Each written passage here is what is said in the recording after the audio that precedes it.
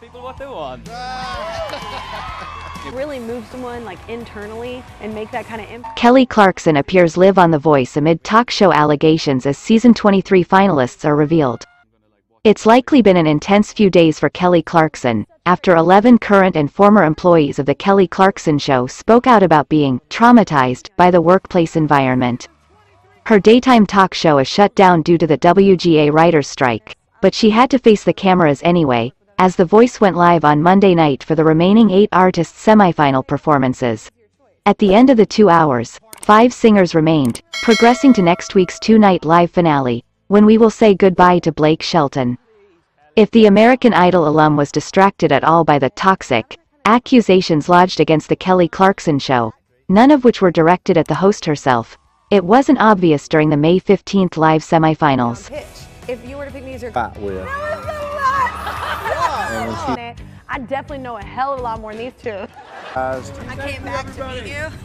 Kelly Clarkson was all smiles as Holly Brand and Dee Smooth took the stage for their first live performances of the season. She expressed how proud she was for both of her artists, getting up to hug each of them as they left the stage and lobbying hard for votes on Instagram stories.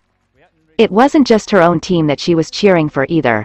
Kelly Clarkson joined Blake Shelton, Chance the Rapper and Niall Horan in a standing ovation for Team Blake's NOIVAS and even shouted out the backup dancers after the trio Sorelle performed as part of Team Chance. Following the Rolling Stone report about the Kelly Clarkson show, the Emmy-winning host responded by saying that anyone on her staff feeling unheard and disrespected was unacceptable, and she committed to creating and maintaining a healthy environment. How much I miss it. I needed a little. Mashed it last week. It's time for Team Kelly. Yeah. Please, Kelly, come on, give me a chance. 19 years old, okay? And having that kind of tone and that. There's no doubt that there's work to be done on that front, but on Monday night, her sole focus was on getting her team through to the finale. She was partially successful in that endeavor, but the cowboy, unsurprisingly, holds the edge going into next week. When the votes were tallied, it was outgoing coach Blake Shelton who was able to secure spots for both NOIVAS and frontrunner Grace West in the top five. The remaining coaches advanced one artist apiece, which isn't always a given, with several coaches in recent seasons being eliminated before the final night of competition. Kelly Clarkson's D Smooth moved on, in addition to Chance the Rapper's Sorelle and Niall Horan's Gina Miles. Such a great coach for you. I literally believed in you. You are not only fired from this show. Easy on you. Give it up for our season 23 coach. Totally. Yep. We're gonna help you guys. The Voice is pulling out all the stops for Blake Shelton's final episodes next week, including the return of his longtime frenemy and rival Adam Levine. There will be plenty of other familiar faces in the house, as well, to watch the cowboy ride off into the sunset. The big question is, will he go out on top? The finale will air at 8 p.m.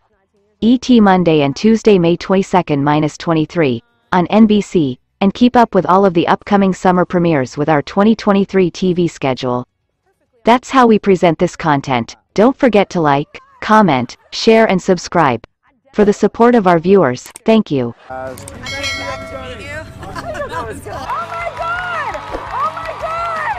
Kelly, she's back on the show after taking a little break.